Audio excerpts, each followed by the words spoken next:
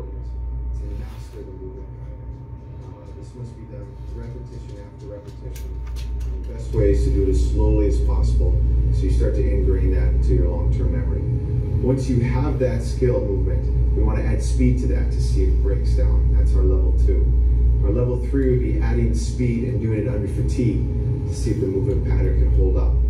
Our level four is adding speed with fatigue with pressure. It Does it hold our fifth and final level is we need to do it with speed, under fatigue, with pressure, and consistently.